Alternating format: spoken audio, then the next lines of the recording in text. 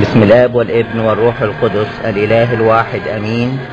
من الكنيسة المرقسية الكبرى بالأزبكية بالقاهرة اليوم الجمعة الموافق الرابع والعشرين من يوليو سنة 1992 يقدم جناب الأب الموقر القسمكار يونان راعي الكنيسة العظة الأسبوعية.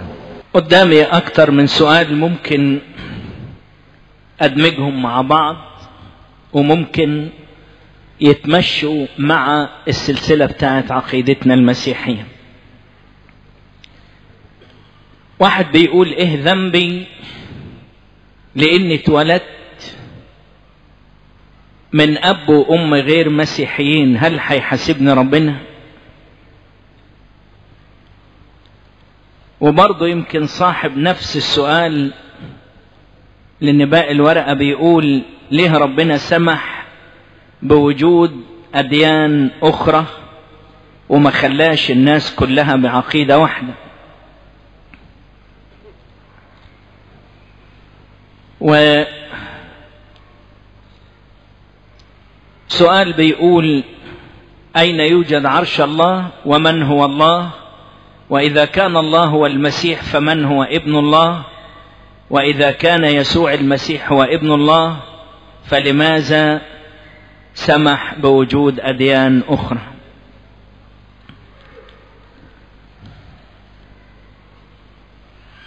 أولا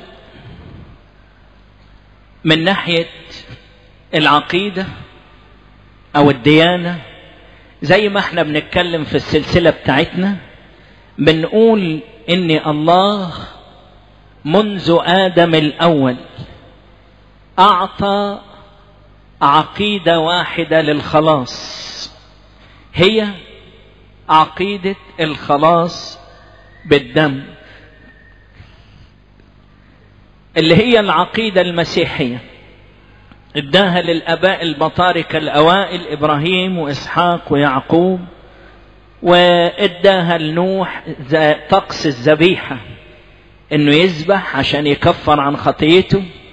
ونفس الطقس اداه لليهود في شريعة الناموس لما يخطي يذبح عشان يكفر عن خطيته وكل دي كانت رموز لذبيحة الصليب يسوع المسيح لأنه بدون سفك دم لا تحصل إيه؟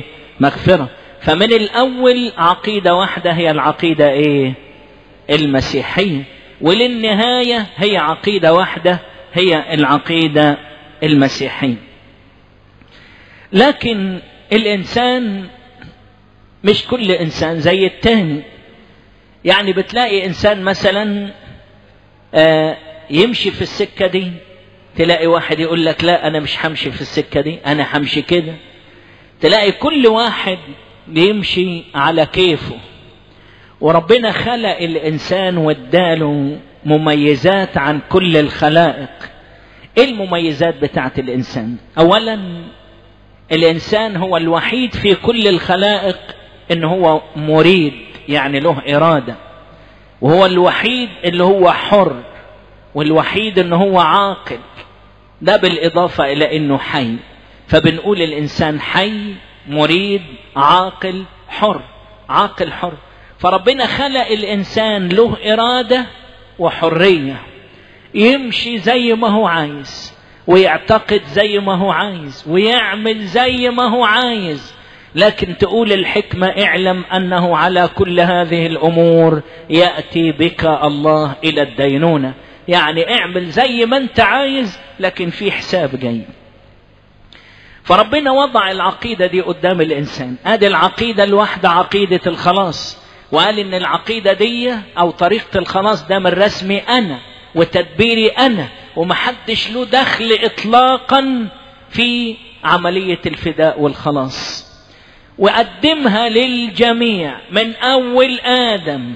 قال له يا آدم أدي طريق الخلاص. ورق الشجر ما ستركش يسترك الجلد ده بتاع الذبيحة يعني يسترك الدم. طوبى لمن غفر إثمه وسترت إيه خطيته يسترك الدم. من أول آدم قال له يسترك الدم ولغاية آخر إنسان على سطح الكرة الأرضية. ربنا بينادي ويقول له يسترك الدم. لكن تلاقي الإنسان يركب دماغه ويقول لك إيه يا عمي دم إيه؟ دم إيه؟ ويشغل عقله بقى اللي قد كده ولا يحصل عقل عصفور. ويقعد يتريق على المسيح وعلى المسيحية ويقعد يتهز ويميل ويقول لك المسيح و و و إلى آخره. هو حر ما هو حر. ربنا سايبه. وربنا يسيب الإنسان يتفضفض يتفضفض ويتنطط كده في غربته. لكن يا ويله يا سواد ليله لما يجي يقف قدام ربنا. فربنا سايب الإنسان حر. ونظرا لأنه سايب الإنسان حر فتلاقي ناس كتير بتمشي في طرق مختلفة. ومن هنا تعددت الآراء والعقائد والأديان. ده في ناس بتعبد الشيطان. ناس بتعبد إيه؟ الشيطان. يقول لك أنا حر أنا حر. وناس لغاية دلوقتي بتعبد أصنام وتعبد تماثيل وناس بتعبد الشمس وناس بتعبد القمر وناس بتعبد العجل والفيل والحاجات. يعني أهو مخ الإنسان مخ. ما هو ساعات الإنسان يسيب نفسه تلاقي مخه بقى زي الطين زي الحجر. اتقفل. اتقفل. مفيش استنارة. أسلمهم الله إلى ذهن مرفوض. يعني سابهم ربنا. النعمة تخلت عنهم ليصنع ما لا يليق. يصنع ما لا يليق. يعني ممكن يعبد حجر. يعبد حجر. يعبد النار. عجيبة. يعبد النار. أنا مرة شفت فيلم عن جماعات وهي غالبا في دول أفريقية تصرفاتهم عجيبة عجيبة عجيبة في عبادتهم. يعبدوا أي حاجة أي حاجة وممكن ينزلوا ضرب في بعض وذبح في بعض وتكسير في بعض أي حاجة. يعني همجية ما فيش تعقل. فبالنسبة لحرية الإنسان فالإنسان بياخد طرق مختلفة. فتعددت إيه؟ الأديان تعددت الأديان لكن ربنا بيقول وبينبه بيقول قفوا على الطريق قفوا على الطريق شوفوا أنه اللي يوصل أنه اللي يوصل. هل حياة القداسة توصل ولا إنك تعيش للجسد وتبقى مزواج وتتجوز واحدة واثنين وثلاثة وأربعة؟ هل حياة الأمانة وطيبة القلب والمحبة ولا تمشي في طريق القتل والسرقة والنصب والضرب؟ لا ممكن تقعد تفكر وتتأمل إيه السكة اللي توصل. وربنا هيحاسب في الآخر. بيقول لي أين يوجد عرش الله؟ كلمة عرش لما بتذكر في الكتب المقدسة زي مثلا سفر الرؤيا أو بتذكر في الأنبياء كلمة عرش تفيد الملك والسلطة والسلطة وأيضا تفيد الدينونة أو الحكم. لكن مش معنى آه كلمة عرش يعني الله محدود وجالس على كرسي أو على عرش. لا. فكونك تدور على عرش الله لا. ربنا مش محدود عشان يجلس على عرش لكن كلمة عرش ليها مدلول. وبعدين بتقول من هو الله؟ الله لم يره أحد قط.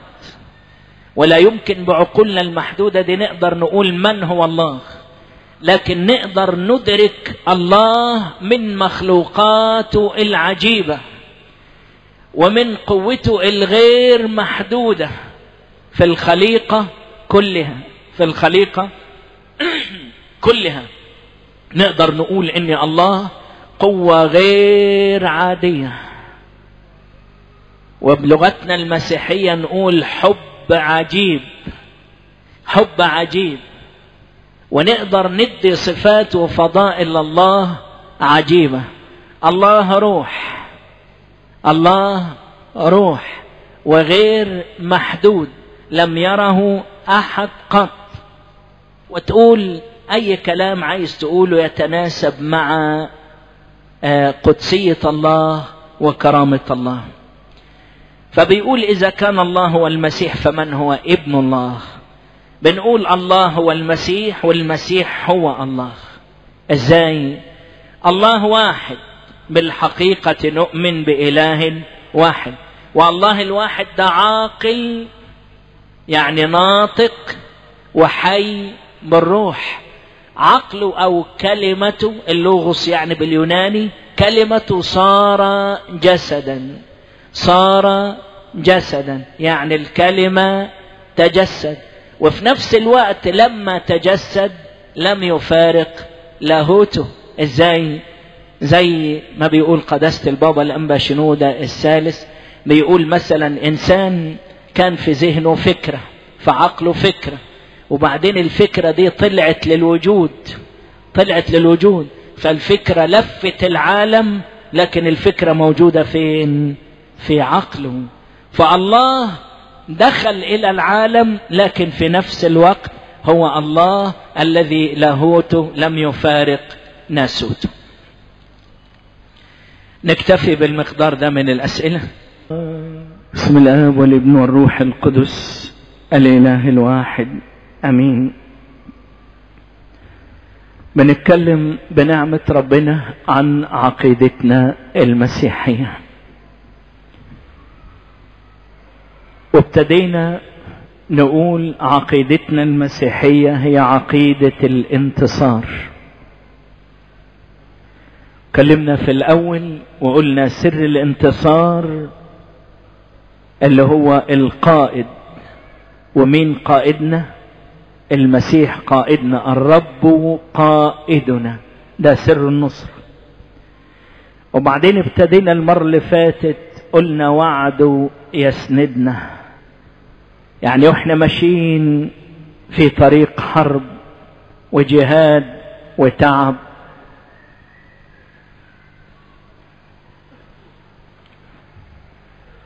صحيح هو القائد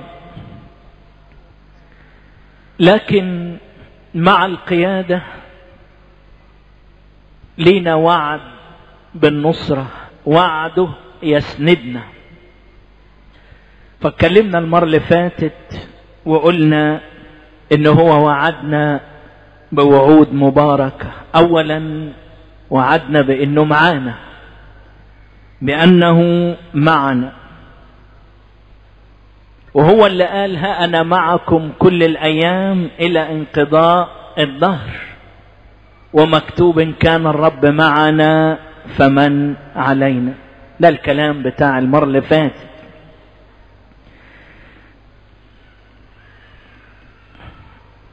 لكن أعطانا وعود تاني.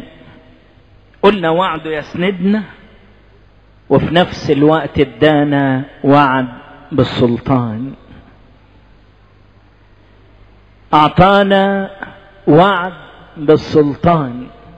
وإحنا ماشيين والحرب علينا شديدة. وما فيش حد فينا يقدر يقول أنا قد الشيطان ده الشيطان قوة جبارة وطاقة روحية جبارة. لكن مين يديني إني أغلب إبليس والعالم وكل قواته؟ ومين يديني إني أعيش كلام المرنم اللي بيقول يسقط عن جانبك إيه؟ ألف وربوات عن يمينك.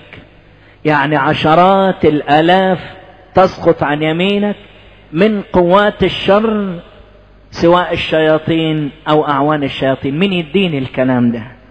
الله وعدنا إنه معانا وأيضا وعدنا إنه لينا سلطان.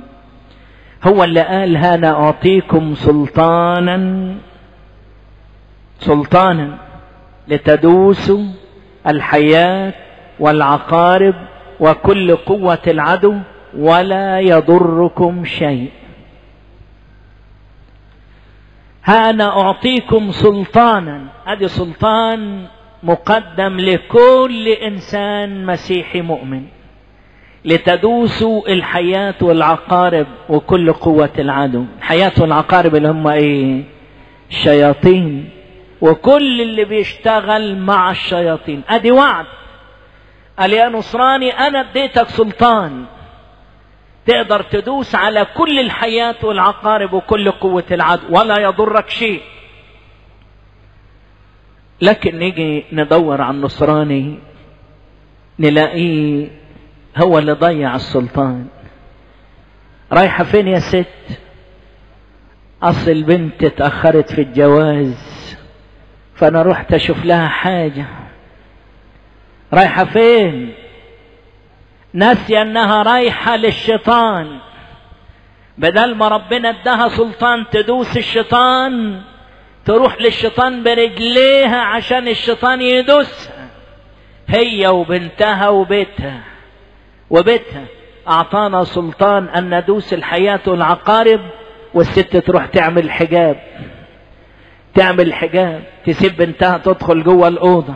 وتتقفل الأوضة مع راجل غريب والله أعلم بيحصل إيه. أنا قلت الكلام ده قبل كده وكتبت في كتاب حكايات حصلت وياما مصايب بتحصل مع الشياطين لأن رايحين للشيطان برجلينا رايحين أعطانا وعد بالسلطان أن ندوس الحياة والعقارب وكل قوة الله إحنا اللي بنعمل للشيطان قيمة وإحنا اللي بنخلي الشيطان في نظرنا صاحي وحي مع ان الشيطان ميت.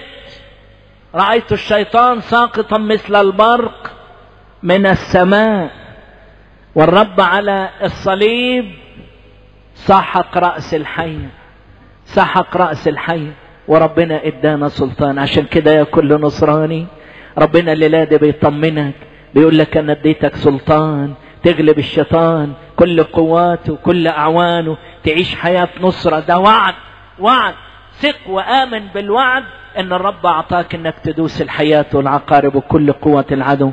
ولا يضرك شيء. ما تروحش للشيطان برجليك. ما تمارس الخطية عشان الشيطان يلاقي ثغرات في سور حياتك ويخش منها يخش منها. أعطانا سلطان. حاجة تاني؟ وعدنا بالسلطان بيقول إيه؟ بيقول جاء إلى خاصته وخاصته إيه؟ لم تقبل وأما كل الذين قبلوه فأعطاهم سلطانا أن يصيروا أولاد الله أي المؤمنون باسمه. إدانا سلطان إن إحنا أولاد ربنا. ولاد ربنا. من يوم ما تعمدنا نلنا التبني. عارفين إيه معنى الكلام ده؟ يعني الرب اتبنانا. الرب اتبنانا. يعني بقى هو حمينا. بقى هو أبونا. وقال لما تصلوا قولوا يا أبانا. يا أبانا اسمه دعي علينا. ومعنى اسمه دعي علينا يعني بقالنا كرامة في العالم. وبقالنا سلطان في العالم. وبقينا وارثين للسماء وارثين للسماء أعطانا سلطان ان نصير أولاد الله. أولاد الله. الله الحي أعطى لأولاده إيه؟ حياة. حياة. حد يقدر ينتزع الحياة من أولاد الله؟ كل قوات العالم تقدر تنتزع الحياة من أولاد الله؟ ممكن تموت الجسد وتشرح الجسد. وتقطع في الجسد ده. لكن ممكن تنال من روحك شيء. عشان كده يقول خافوا من الذين لا تخافوا من الذين يقتلون الجسد أو لهم سلطان على الجسد. لكن أريكم ممن تخافوا خافوا من الذي له سلطان بعد أن يقتل الجسد. يلقي فين؟ في جهنم النار الأبدية. أعطانا سلطان إن إحنا بقينا أولاد الله. هو الموضوع عايز إيمان. عايز إيمان إن ربنا اداني سلطان إني أدوس الشيطان. واداني سلطان إني أعيش كابن لله. كابن لله. محدش يقدر يمس شعرايه من راسي. عارفين إيه اللي بيخلينا ضعاف وخوافين وجبنة وتعبانين ونجري من كلمة بخ نهرب؟ عارفين ليه؟ لأن مش عايشين المواعيد. مش عايشين المواعيد مش عايشين الإيمان. بعاد عن ربنا والخطية عزلت بيننا وبين الله. محبتنا للعالم خلتنا نفقد قوة السلطان وعايشين بلا إيمان بلا ثقة في مواعيد الله. إحنا محتاجين دلوقتي وإحنا بنسمع نقول له رب ادينا إيمان في مواعيدك اديني إيمان إنك أعطيتني سلطان إني أدوس الشيطان اديني إيمان إنك أعطيتني سلطان إني أعيش كابن ليك كابن ليك ليا اسمك ليا قوتك ليا مجدك ليا كرامتك ليا قداستك أعيش ليك يا ربي في أيام غربتي. اديني إيمان اديني إيمان. ما كنش إنسان عادي. والنصراني ما هواش إنسان عادي. إحنا يمكن اتكلمنا مرة وعظة بعنوان إيه؟ النصراني مسيح تاني. النصراني مسيح تاني. صاحب سلطان. وطلعنا نبذة مرة بعنوان أصحاب السلطان. أعطانا سلطان. بيتكلم مرة زي الترنيمة اللي رنمناها بيقول الله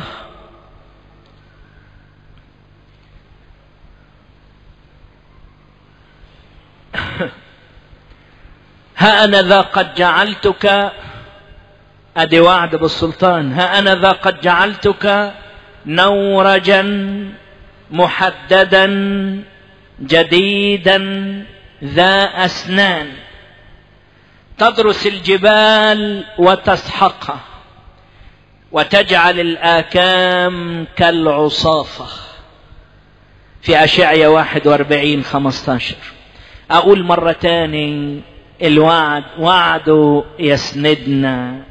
وعده إيه؟ يسندنا. وأعطانا السلطان. إيه السلطان اللي اداهولنا؟ خد بالك من الكلام. ها أنا ذا قد جعلتك نورجا. كلنا عارفين النورج. ها؟ اللي بيدرس إيه؟ القمح والغله ها أنا ذا قد جعلتك نورجا. النورج ده ممكن تجرها بهيمة وتحت منها في آه عجل. لا مش عجل. طيب. هي بتبقى محور كده خشبي ومثبت فيه سلاح على شكل دايرة. السلاح ده هو اللي بيدرس القمح والغلة والحلبة والحاجات دي. كذا محور كده جنب بعض وممكن البهيمة تجر النورج ويمشي يدرس الغلة. ربنا بيقول للإنسان أنا جعلتك نورج. بس نورج جديد لما يشتغل كتير النورج إيه؟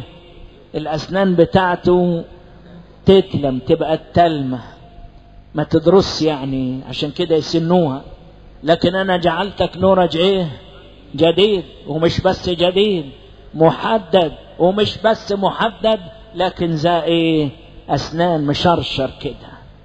مشرشر يعني يدرس تمام. ده وعد بسلطان تعمل إيه؟ خد بالك من الكلام. بيقول تدرس الجبال وتسحقها. لما ناخد الكلام بالحرف ممكن النورج ده يكسر الحجر ويسحقها يعني يخليها زي الدقيق. يعني الصلابة بتاعتها والقوة بتاعتها يوصلها للتراب. لكن مش هو ده المطلوب. ده بيقول للإنسان أنا هخليك زي النورج تدرس الجبال. مين الجبال؟ اللي هي المناخير المرفوعة. العالم المتكبر. اللي هو عالم الشيطان. أخليك تجيب مناخيره فين؟ في التراب. يا سلام. ده سلطان إيه ده؟ طب هو الإنسان النصراني هيدوس ويسحق ويعمل؟ لا لا لا لا لا لا. لا ده النعمة اللي فيك تخلي فلان يتخزي ويبقى وشه في الطين. القداسة اللي فيك تفضح الشر والدنس والنجاسة في أهل العالم. الأمانة في حياتك تخلي المناخير العالية تيجي الأرض تيجي الأرض. الإنسان اللي بيصنع الشر في الظلام هيتفضح قدام قداسة حياتك وقدام خوفك لله. تدرس الجبال وتسحقها وتسحقها. فيش إنسان متكبر يقف قدامك لأن من ربنا هتكون غالب المتكبرين. لأن ربنا بيقول أقاوم إيه؟ المستكبرين. وأما المتواضعين فيعطيهم إيه؟ نعمة. تدرس الجبال وتسحق. إيه ده الوعد المبارك؟ ها أنا ذا قد جعلتك نورجا. جديدا نورجا. محددا جديدا ذا أسنان. تدرس الجبال وتسحقها وتجعل الآكام كالعصافة. الأكام شوفوا الأكمة يعني المرتفعة يعني الحاجة العالية. تخليها زي العصافة كده زي الريح زي ريشة في مهب الريح. يعني تخلي الإنسان إن كان بيقاومك إنسان أو إن كان بيقاومك شيطان تخليه ولا يسوى شيء. ولا يسوى شيء. يهرب من قدامك ولا طارد. ده إيه ده السلطان العجيب؟ أدي سلطان أولاد الله. أمال يعني ابن الله يعني إيه؟ هي حاجة هينة. ده لو أنت ابن وزير هيبقى لك شنة ورنة فما بال لو كنت ابن ملك أرضي ده يبقى حاجة تاني. مش هتيجي تقعد معانا. هيبقى في حراسة وبروتوكول ونظام و و و. ده أنت ابن ملك. أمال لو أنت ابن ملك الملوك. ولا حاجة. ادي إحنا عايشين تعبانين. ليه؟ لأن ولا حاسين ولا داريانين إن إحنا أولاد ملك الملوك. الدنيا واخدانا أبونا لقمة العيش مرة. لقمة الع... يعني إيه لقمة العيش مرة؟ يعني لازم اسرق تسرق يا أخي عنك ما كلت عشان تسرق طب ولما تسرق وتأكل الجسد والجسد ده هياكله الدود وبعد كده تروح جهنم؟ لا. موت بالجوع أحسن عشان هتروح السماء أحسن مما تاكل من الحرام وتروح جهنم النار الابديه أوعى تمشي مع العالم. عيش بسلطان أولاد الله. في الكرامة في الأمانة في القداسة في الطهر في العفاف. اسمع يا نفسي ويا كل نفس. أعطانا وعد بالسلطان. ها أنا ذا قد جعلتك نورجا جديدا محددا. ذا أسنان تدرس الجبال وتسحقها وتجعل الآكام كالعصافة. صاحب سلطان فيش إنسان يقدر يقف قدامك طول ما أنت ماسك في ربنا. طول ما أنت ماسك في ربنا حدش يقدر يقف قدامك. ولا يعطل عملك ولا شهادتك ولا خطواتك ولا يقف في طريقك. لإني الله معك. وزي ما قلنا إن كان الله معنا إيه؟ فمن علينا عقيدتنا المسيحية هي عقيدة الانتصار. لأن الرب قائدنا وعده إيه؟ يسندنا. وعدنا بإنه معانا وعدنا بالسلطان. وثالث حاجة وعدنا بإنه يسهر علينا. إحنا جيش بنحارب هو قايدنا ومضلل علينا وسهران علينا. بيقول إيه؟ بيقول في أشعية 43 زي ما رنمنا دلوقتي لا تخف لأني فديتك. ما تخافش ده أنا فديتك بدمي. فديتك يعني اشتريتك يعني نجيتك. لا تخف لأني فديتك. ولما اشترانا بقينا غاليين عليه. لا تخف لأني فديتك. دعوتك باسمك أنت لي. أتاري كل واحد معروف باسمه عند ربنا. كل واحد. وربنا بيذاكر ويحفظ يعني الأسامي. قال لا ده مش بتاع مذاكرة وحفظ. لا ده عارف كل واحد مش بس كل واحد. ده مرقم عظامنا في بطون أمهاتنا. ده شعور رؤوسنا عددها. كلنا معروفين عنده يا سلام. شوف بقى لما يكون واحد عظيم في الدنيا وقابلته مرة مثلا قلت له أنا اسمي فلان. وبعدين تيجي مرة تانية يقول لك أنا فاكر أنت فلان تفرح وتنبسط لأنه فاكر. ناس كتير بتتضايق لما تيجي تقابلنا كده وننسى أساميها. إحنا بننسى حتى الثلاثة أربعة اللي بنتعامل معاهم العشرة العشرين اللي بنتعامل معاهم. لكن شوف الله لا ينسى قط. لا تخف لأني فديتك دعوتك باسمك أنت لي أنا اللي مسميك ومعروف ليا وأنت بتاعي أنت لي أنت لي. وإيه تاني يا رب؟ شوف سهران علينا إزاي. بيقول إذا اجتزت في المياه فأنا معك. زي ما كنا بنرنم. إذا اجتزت في المياه فأنا معك والمياه هنا رمز. رمز للعالم ومضايقاته وتجاربه وآلامه. إذا اجتزت في المياه فأنا معك وفي الأنهار فلا تغمرك. إذا مشيت في النار فلا تلزع يعني لما تشتد عليك الضيقات والتجارب والدنيا تولع حواليك فلا تلزع لا تحرق يعني. يعني النار ما تصيبكش اطلاقا واللهيب لا يحرقك. إذا مشيت في النار فلا تلزع. إيه ده ممكن ده يحصل. إيه رايكم حرفيا ممكن يحصل. وروحيا حتى لو مرينا بتجارب أصعب من النار ما تأثرش فينا. لكن طلعنا زي الشعره من العجينة. إذا مشيت في النار فلا تنزع واللهيب لا يحرقك لأني أنا الرب إله قديس إسرائيل. مخلصك جعلت مصر فديتك كوش وسبع عوضك.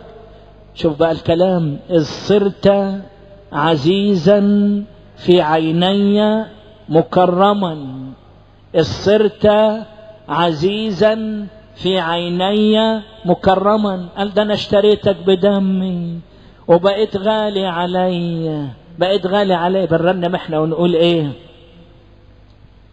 شايل أحمالي ويقول إيه؟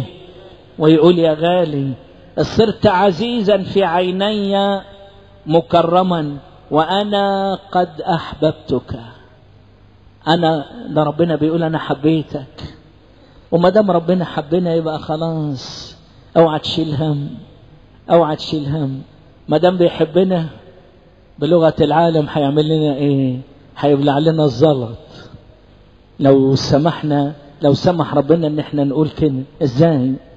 يعني نفجر ويغفر لنا لا. لا. هو عارف أمانتنا وإخلاصنا. وقعت مرة ينجيك. طب والتانية؟ برضه ينجيك. ما دام مش بقصد مش بفجور. طب وقعت سبع مرات برضه ينجيك طب سبعة في السبعين برضه ينجيك طب عشت طول العمر خاطي وجيت في أي وقت قلت له نجيني نجيني؟ نعم. لأنه هو اللي قال لمعلمنا بطرس لو أخطأ فيك أخوك سبعة في سبعين مرة سامحه يبقى هو مش هيسامحني. ده إله عجيب صرت عزيزا في عيني مكرما وأنا قد أحببتك. أعطي أناسا عوضك. أعطي أناسا عوضك. يعني ناس كتير ما يسويش مقدارك. يعني أنت أغلى من ناس كتير. وشعوبا عوض نفسك. يعني نفسك أغلى من شعوب. إيه ده؟ سامع يا نصراني؟ سامع العز اللي إحنا عايشين فيه. بس يا خسارة إحنا بعاد عن العز بعاد عن العز.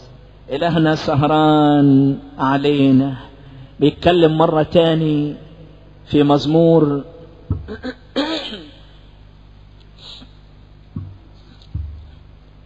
مزمور 121 بيقول لا يدع رجلك تزل.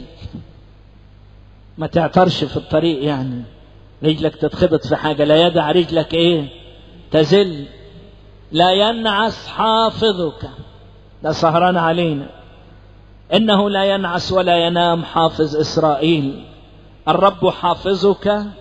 الرب ظل لك عن يدك اليمنى. لا تضربك الشمس في النهار ولا القمر في الليل.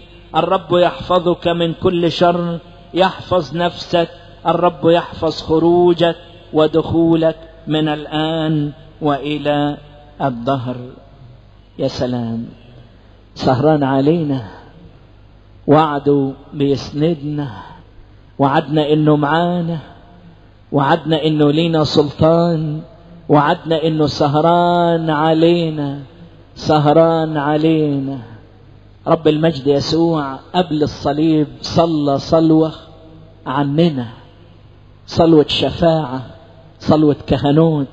قال للاب المبارك أطلب ألا تأخذهم من العالم بل أن تحفظهم من الشرير. يا سلام يا سلام على الضمان. أطلب ألا تأخذهم من العالم بل أن تحفظهم. من إيه؟ من الشرير. يعني لينا طلبة لينا رصيد في صلوات الابن المبارك إن إحنا محفوظين في يمينه والذين في يدي لا يستطيع أحد أن يخطفهم إيه؟ مني. بل أن تحفظهم من الشرير. يعني رب المجد يسوع حطت لنا رصيد إن إحنا نعيش محفوظين من الشيطان. محفوظين من الشيطان. أمال الشيطان بيلعب بينا ليه؟ قال إحنا اللي بنروح للشيطان برجلينا. لكن إن كان على ربنا ادانا وعد. ولينا في المجد رصيد. ان ربنا وعد إن إحنا نكون محفوظين. أما أنتم فحتى شعور رؤوسكم جميعها محصاة وعدنا. حاجة تانية وأخيرة لكن حلوة. وعده يسندنا. إيه الوعد يا رب؟ قال كل اللي هيقف ضدك أنا هغلبه كل اللي هيقف ضدك أنا هغلبه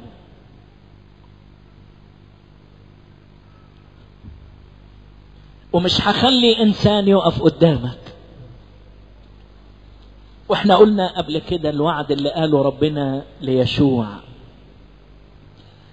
قال له لا يقف إنسان في وجهك كل أيام حياتك لا أهملك ولا أتركك. دي ترنيمة حلوة. لا يقف إنسان في وجهك كل أيام حياتك. لا أهملك ولا أتركك. يا سلام. قد إيه بيبقى الواحد مشتاق إنه يعيد الكلام ده وجرب الكلام ده في صلاتك الخاصة وخصوصا لما تكون تعبان أو متضايق أو في تجربة أو في حد واقف في وشك إن كان رئيس أو موظف أو شركة أو عمل أو جار أو أي حد واقف بالشر قدامك اقعد ردد الوعد ده. وقول لربنا أنت وعدت يا رب. أنا صحيح مش على مستوى الوعد لأني إنسان خاطئ وضعيف لكن تعالى يا رب قوم حياتي واغفر خطاياي وشددني واديني إيمان بوعدك. أنت قلت لي لا يقف إنسان في وجهك كل أيام حياتك وقلت لي لا أهملك ولا أتركك. يعني أنت تديني نصرة تديني نصرة ونعيش الوعد وامجاده نعيش الوعد وامجاده إنه هو حيغلب المضادين ويهزم المقاومين وإنما بعينيك ترى وتنظر مجازات الأشرار. يغلب اللي واقفين ضدنا. أمال هو قال يا نصارى أوعى تكونوا بتاع حرب أوعى تروح تجيب لي بندقية ولا سيف ولا مسدس ولا سلسلة ولا مش عارف إيه. لا لا. تغلب واحد التاني هيغلبك لو كنت أقوى من واحد هتلاقي اللي أقوى منك ارمي العصاية وارمي البندقية أقاتل عنكم وأنتم إيه؟ تصمتون. إنما قف وانظر خلاص الله. وقف اتفرج كده وقف اتفرج. لا أهملك ولا أتركك. لا يقف إنسان في وجهك كل أيام حياتك. يا سلام. أما نتأمل في الكنيسة الأولى وخدمة سادتنا الاباء الرسل والعظمة والقوة وملء روح الله كانوا يفوتوا في الحديد. يمسكوهم ويرموهم في السجن ويقفلوا السجن ويشمعوا السجن ويحطوا حراس على السجن والصبح يلاقوهم فين؟ بيوعظوا في الهيكل. بيوعظوا في الهيكل. إيه ده؟ إيه ده؟ أن لا يقف إنسان في وجهك كل أيام حياته؟ يروحوا يرجعوا على السجن يقولوا الأختام موجودة. والأبواب مقفولة زي ما هي والحراس قاعدين من بره ودول بيوعظوا في الهيكل. مين اللي طلعهم؟ لا يقف إنسان في وجهك كل أيام حياتك. أنت بس حط إيدك في إيد مسيحك واختبر المجد اختبر المجد وعظمة وسلطان أولاد الله واختبر حياة النصرة والقوة حياة النصرة الحياة المجيدة.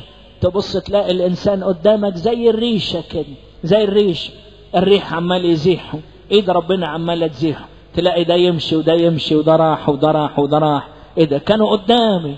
دول كانوا مقاومين ليا. دول كانوا مضادين ليا. قال لا لا لا لا لا. وعدك يسندنا في مزمور 91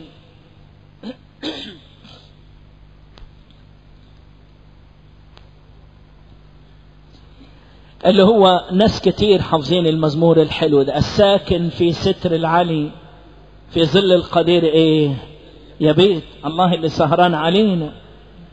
بيقول لأنه ينجيك من فخ الصياد ومن الوباء الخطر بخوافيه يظللك وتحت أجنحته تحتمي. كل ده كلام له معنى جميل جميل. المهم أنا عايز كلمتين من المزمور ده. يسقط عن جانبك إيه؟ ألف وربوات عن يمينك إليك لا يقرب. إليك لا يقرب. مين اللي ما يقربش ليك؟ الشيطان. إليك لا يقرب. حتى نحفظ الثلاث كلمات دول. إليك لا يقرب. يا سلام ده وعد من ربنا. إليك لا يقرب إنما بعينيك تنظر وترى مجازات الأشرار. أنا لسه قايل الكلمتين دول. قال أنت تقف ساكت. تقف ساكت كده. رنم صلي اتأمل في ربنا. عيش حياة الشكر. وتبص تلاقي إيه؟ الأشرار بينالوا إيه؟ العقاب. إنما بعينيك تنظر وترى مجازات الأشرار. ثلاث كلمات اللي حفظناهم إيه؟ إليك لا يقرب يا سلام. قد إيه ربنا ده عجيب. وإحنا بقينا غاليين عليه. صرت عزيزا في عيني مكرما. إيه ده؟ بالنسبة لربنا إحنا غاليين. عزاز عليه. عزيزا في عيني مكرما. أنا شوية الطين.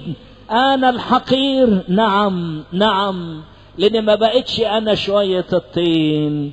لأنه لما فداني وبدمه اشتراني أشركني في طبيعته الإلهية وبحبه تبناني وخلاني وارث للمجد.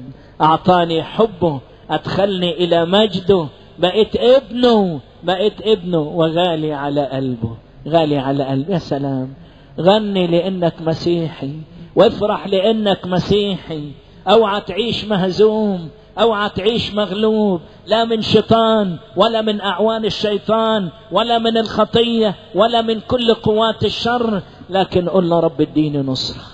اديني نصرة. ساعدني أختبر حياة الانتصار وأقول في جوع في خطر في سيف في كذا في كذا في هذه جميعها يعظم انتصارنا بالذي أحبنا. الله يعطينا نعمة ويبارك حياتنا. ويحفظنا في حياة النصر على الدوام ولإلهنا كل الكرامة والمجد من الآن وإلى الأبد. آمين.